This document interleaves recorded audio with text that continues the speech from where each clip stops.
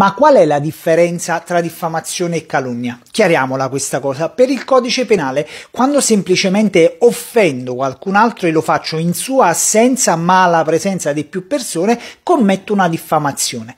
Viceversa, la calunnia è una vera e propria accusa falsa che fai contro un'altra persona all'autorità giudiziaria oppure ad un'altra autorità che dovrà riferire all'autorità giudiziaria. Cioè, tu pur sapendo che io non ho commesso un reato e ne sei assolutamente consapevole, vai lo stesso a denunciarmi accusandomi di averlo commesso. È chiaro che anche la calunnia contiene in sé un'offesa alla reputazione del denunciato, però qua c'è l'ulteriore pregiudizio dell'apertura di un procedimento penale ingiusto a carica del denunciato ed è questa una differenza che si riflette anche in termini di pena, perché per la diffamazione parliamo di una pena pecuniaria o se aggravata fino a tre anni di reclusione, mentre per la calunnia parliamo di una pena che parte da due anni e può arrivare fino a sei anni di reclusione. È il diritto penale.